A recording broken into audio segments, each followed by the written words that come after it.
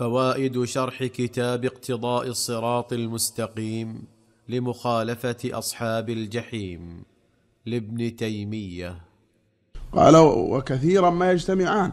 يقصد أن الخلاق نصيبها للشهوات وداء العصاة والخوض نصيبها للشبهات والأهواء. قال كثيرا ما يجتمعان. فقل من تجد في اعتقاده فسادا إلا وهو ظاهر في عمله. نعم يجتمعان الخوض في الشهوات والخوض في الشبهات. نعم. يجتمعان في الشخص الواحد. فكثيرا ممن يقعون في الشبهات يظهر هذا على أعمالهم وأنهم يدخلون في الشهوات أيضا. وكذلك العكس. كثيرا من يستعملون الشهوات أنهم يقعون في الشبهات أيضا. فهما متلازمان. فتنة الشهوات وفتنة الشبهات نعم. متلازمتان والعياذ بالله. والسلامة من سلمه الله منهما.